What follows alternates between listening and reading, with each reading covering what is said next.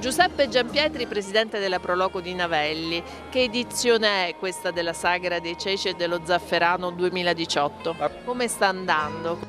Beh, sta andando bene, oggi pomeriggio pensavamo con il tempo, con le previsioni, è piovuto, però sembra che la gente non ha avuto paura del, della pioggia e è venuta a trovarci. I ceci, i ceci in ogni modo, come li state servendo? Che cosa va per la maggiore?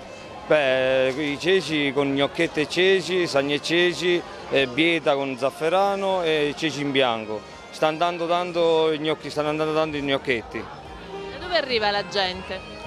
Beh, un po' dappertutto. Noi di solito abbiamo visto che vengono molto di più dalla costa.